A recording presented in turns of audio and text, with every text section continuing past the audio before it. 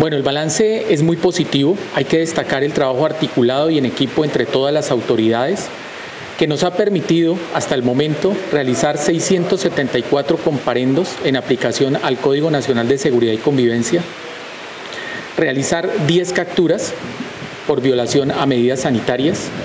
También tenemos que destacar la realización de 324 comparendos en aplicación al Código Nacional de Tránsito, el cual ha generado 253 inmovilizaciones de vehículos.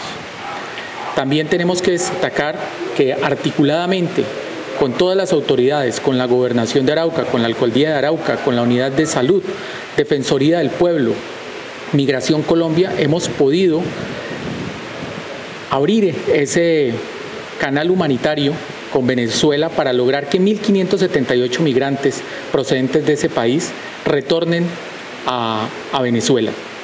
Esta es una labor muy importante que se ha venido desarrollando con un trabajo en equipo y articulado entre todas las autoridades. También tenemos que destacar la labor preventiva que ha realizado la Policía Nacional para poder concientizar a la ciudadanía de la necesidad de que todos se queden en casa.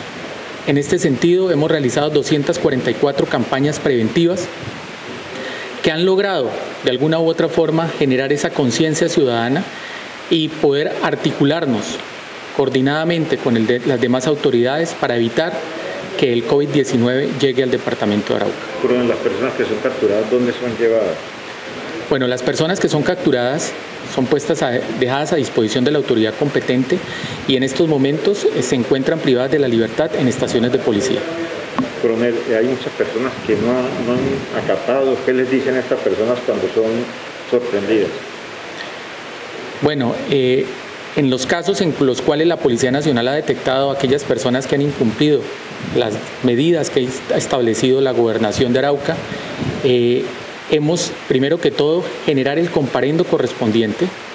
Segunda medida, hacemos el llamado de atención y generamos la conciencia ciudadana para que esta persona no vuelva a reincidir en esa acción.